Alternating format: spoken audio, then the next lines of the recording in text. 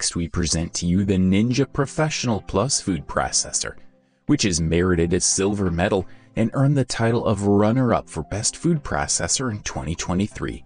For those new to the world of food processors and choppers, this moderately priced model offers a mid-range capacity and comes with standard accessories such as a slicing blade and chopping slicing disc. It's simple and affordable enough for beginners, or anyone who doesn't need complicated features in their kitchen. The work bowl holds up to 9 cups of ingredients, while thoughtful design features like the locking lid and Auto-iQ preset buttons make it easy to use.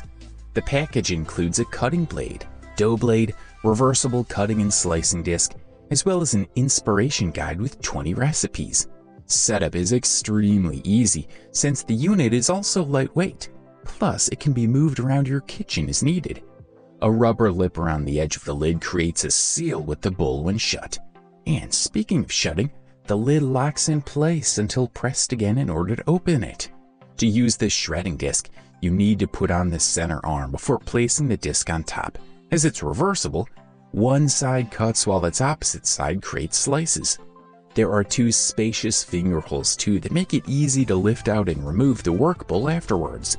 User experiences report that this device works great for chopping bread, potatoes, or other vegetables at much faster speeds than manual graters could provide. We noted that there's a plastic made, not metal, blade fitted inside this device, which apparently can produce up to 2 pounds of dough within 30 seconds. Cleaning is also straightforward. All removable components are dishwasher safe, so maintenance takes no effort at all. All in all, this is one quality product that receives our highest recommendation.